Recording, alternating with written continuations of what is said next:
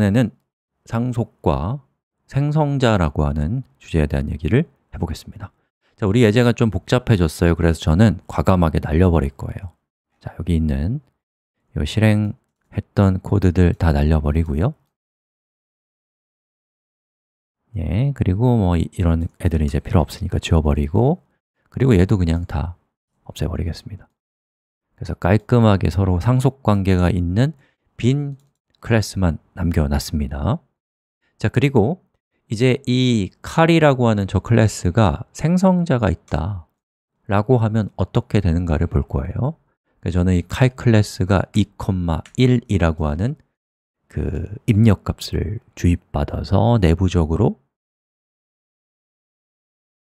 v1, v2 라고 하는 정수 데이터 타입의 쟤를 세팅을 할 거예요. 그러려면 생성자로 int v1, int v2 이렇게 해서 this의 v1은 v1 그러면 이제 매개 변수로 들어온 값이 되겠죠? 자, 그리고 this의 v2는 v2 자, 이런 식으로 코드를 작성했습니다. 자, 그렇게 했더니 여기에 칼 3 라고 하는 이 친구가 또 난리를 치고 있어요 예. 도대체 뭐가 문제인지를 한번 보면은 There is no default constructor available in car이라고 되어 있습니다 자, 이거는 뭐냐면 음, 자, 우리가 칼을 계승했다라고 하면 제대로 계승했다면 칼이 인스턴스로 만들어질 때 반드시 해야 되는 일들이 어디에 들어있어요? 생성자에 들어있단 말이에요 그럼 그 생성자를 칼3도 당연히 실행을 시켜야지 제대로 사, 계승을 하는 거 아니에요 근데 사람들이 그걸 자꾸 까먹거나 자꾸 그럴까 봐 자바를 만드신 분들이 상속, 상속받은 클래스의 부모가 생성자가 있다면 자식은 반드시 부모 생성자를 실행시키도록 강제하고 있다라고 생각해 주시면 좋을 것 같아요. 이유는 다른 이유일 수도 있는데 제 추론이에요. 자, 그럼 어떻게 하면 되냐? 제가 쓰고 있는 에디터에서는 이렇게 마우스를 올려놓으니까 추천을 해주네요. 생성자를 creating한다. 예, 부모와 매칭되는. 자, 한번 클릭해 볼까요? 클릭. 그랬더니 칼3의 생성자가 생성이 되고 super v1, v2가 나옵니다. 자, 여기서 super는 부모 클래스인 거예요. 즉, 부모 클래스의 생성자라고 할 수가 있습니다.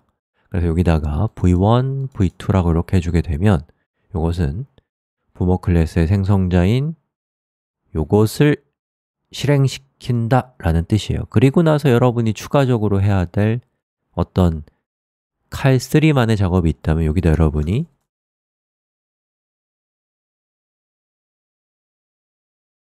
칼 3 init 뭐 이런 내용을 뭐 추가를 할 수가 있겠죠.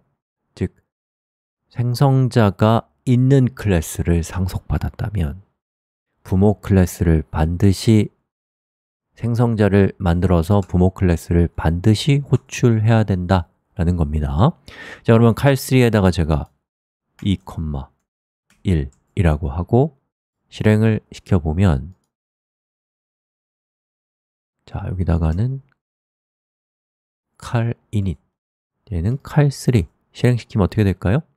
자, 요거를 실행했을 때는 얘만 나올 것이고 얘를 실행했을 때는 우선 슈퍼인 얘가 실행이 되니까 칼 init 그 다음 얘가 실행되니까 칼3 init이 나오겠죠 봅시다 자, 실행한 결과 우리가 예상한 대로 나오고 있습니다.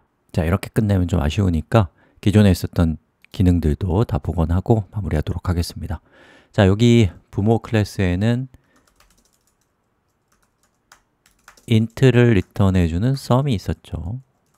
걔는 이제 더 이상 인자를 받지 않아요. 그리고 return 값은 this의 v1 더하기 v2를 리턴해주는 친구고요 그 다음에 자식 클래스에는 마이너스라고 하는 클래스가 있, 메소드가 있고 얘는 빼기를 해주는 애죠 자, 그래서 저는 C3의 sum을 하면 어떻게 돼요? C3는 칼3인데 칼3는 sum이 없으니까 칼에서 sum을 찾아서 어, 현재 만들어진 인스턴스의 v1과 v2의 값을 더한 결과를 리턴해 주, 겠죠 그래서 3이 잘 리턴됩니다 예. 자, 그 다음에 c3-라고 해주면 c3는 칼3고 칼3는 마이너스를 가지고 있기 때문에 자신이 가지고 있는 v1과 v2를 빼서 그 결과인 2를 잘 리턴해 줄 겁니다 실행해 볼까요? 음, 2가 아니라 1이죠. 자, 여기까지 하겠습니다